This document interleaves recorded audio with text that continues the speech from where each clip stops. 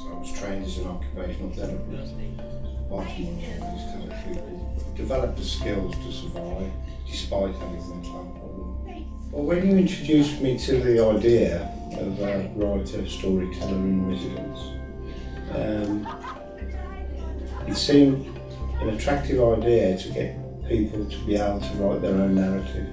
After years of working with people with mental health problems, I've realised they have a story to tell perhaps and not been able to have the skills or the confidence to do that. They don't often have a voice, do they? No, they don't. And that's I bet what. you've helped them hmm. develop that voice. Thank you. And to put things down in, in, in word really, emotions and their stories.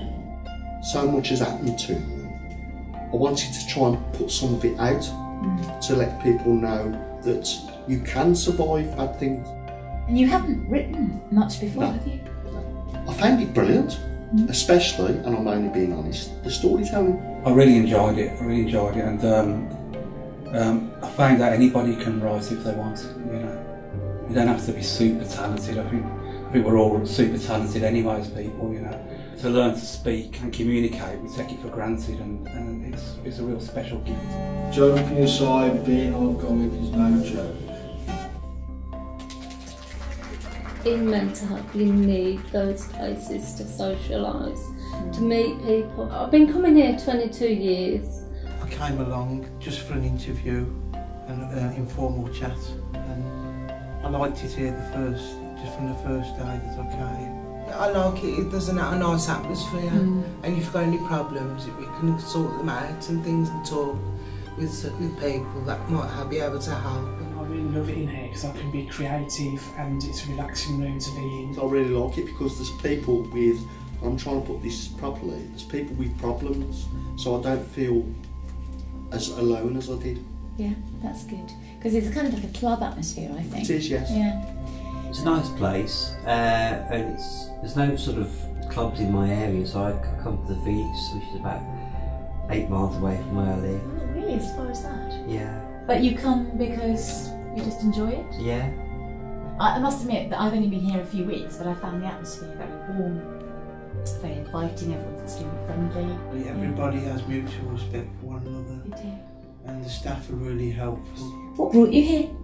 It was a flyer that was given out, and Anvil House, that's a company that I live with, got one of the flyers, and Simon, my care worker, explained to me that I would very likely enjoy it.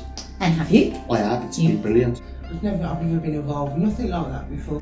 When you first wrote a poem, you'd never written a poem before, had I've you? never written before. No. You haven't written much before, No. have you? I, I suffer from dyslexia, and I've always had problems with reading and writing. And when I was younger, I missed a lot of my education.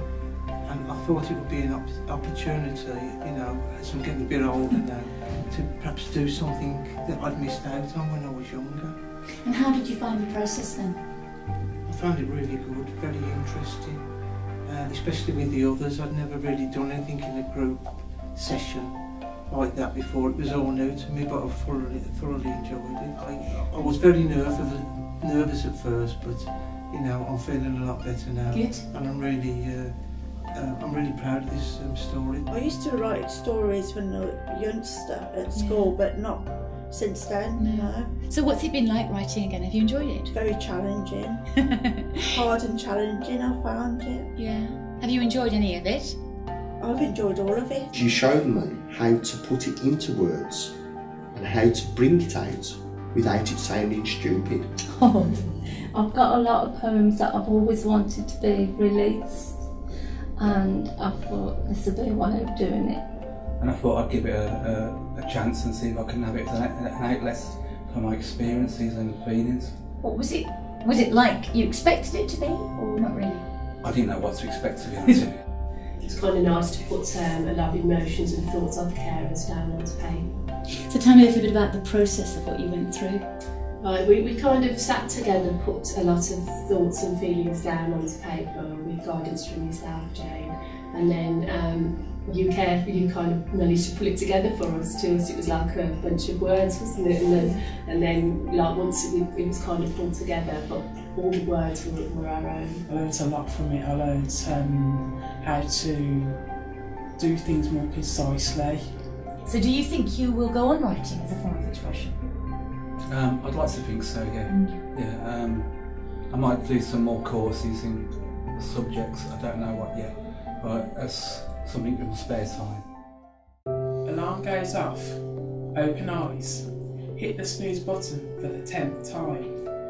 The amazing thing is that apparently I died that night when my head hit the road. The doctors told me that.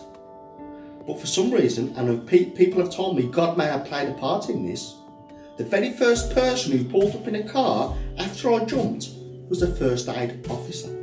No one listens, no one cares, no one hears what I'm saying. Who cares anyway? I'm just living, but not the way I want. Take these pills, they'll make you better. That's not what I want. Communication is a great pacifier of the people. A symbolic reference we learn. A well-oiled machine, and the papers and politicians telling us what to think, who our brothers are, who they are not. It taught me how to hold my head up high and mind my P's and Q's. But if I was naughty, it was strict and I felt the smack of his belt. It was alright, I could take it. I knew he loved me deep down. He was just trying to teach me things. And he thought the world of my mum. When we finally left him, he was a broken man.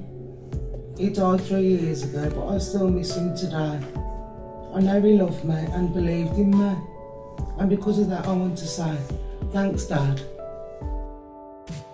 I never saw him again. Why do I want to tell this story? I think it's because in the last few years I've been very ill and gone through some very bad times. Those memories of our childhood adventure together will always be very special.